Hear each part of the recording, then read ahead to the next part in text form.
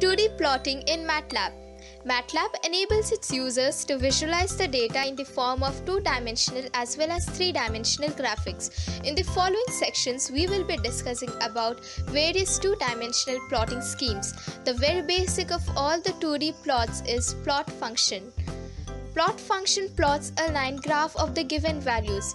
Here, for each element of x, it is plotting against its index value. The function specified in the following way plots the value of vector y against the corresponding values of vector x.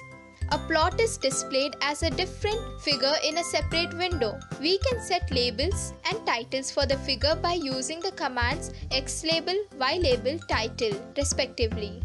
We can also plot more than one y vectors in the same plot corresponding to same x values. To differentiate between two different y vectors, we can put up a legend in the plot as following. Some other important 2D plots are discussed. First one, log scale plots.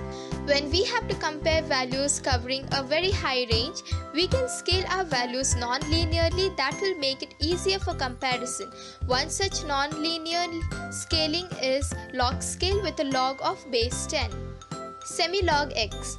Of both the x and y values, we can plot y values on the linear scale and x values on the log scale with the help of semi-log x function. Semi-log y. Similar to semi-log x, we can plot y values on log scale and x values on linear scale using this function. Log log. If we want to plot both the axes on the log scale, log log function can be used. Polar plots. Some data is better presented in the form of polar coordinates in two dimension.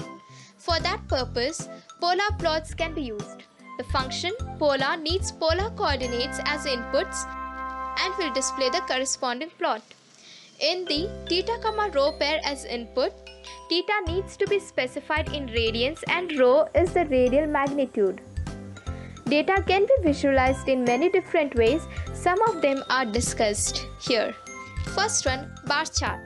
The function bar plots the values of vector y either corresponding to the indices or the x vector values in the form of a bar chart.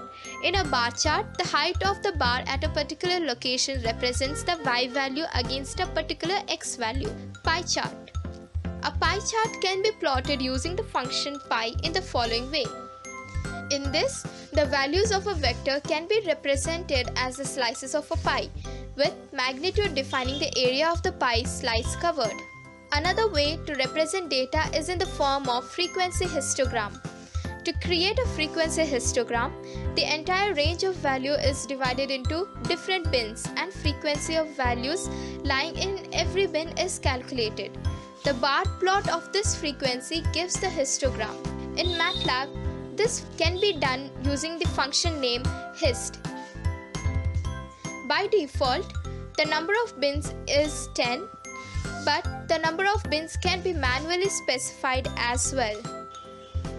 Scatter The function scatter can be used to display data in the form of coordinates formed of x and y matrices. We can also specify different shapes, types, colors of the dots in the scatter plot with the help of flags. For example here, if we want the dots to be marked as red asterisk, we can specify following command. For more tutorials on MATLAB, visit matlabhelper.com.